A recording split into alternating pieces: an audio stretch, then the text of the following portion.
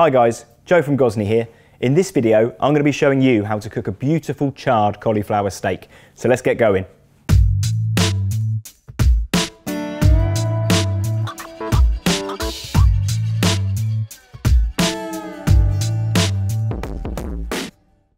You will need one cauliflower, one lemon, flat leaf parsley, capers, unsalted butter, sunflower or vegetable oil, a cast iron pan, Roccbox.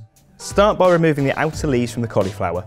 Depending on the size, you can then cut down the stalk, portioning into one or two steaks. Larger cauliflowers you might get two, smaller you'll probably only get one.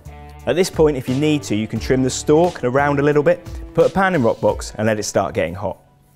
Rub the cauliflower steak all over with the oil. Season well with salt and pepper. Once that's done, bring the hot pan over to your workstation, add the cauliflower and press down firmly. You'll need to turn and rotate the cauliflower throughout the cooking process to avoid one side becoming too charred or burning, but on the whole, you can leave it in Roccbox to do its thing. Roughly chop a tablespoon of parsley and a teaspoon of capers. Grab the cauliflower out of Roccbox and turn it over. It should be beginning to take on a beautiful brown colour and charring on the edges by now.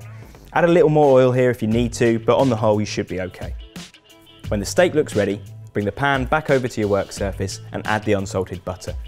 Allow it to foam for a couple of seconds before adding the capers and then squeezing in the lemon juice. Add the parsley and spoon the butter over the cauliflower steak to make sure the flavour is really absorbed throughout the whole of the cauliflower.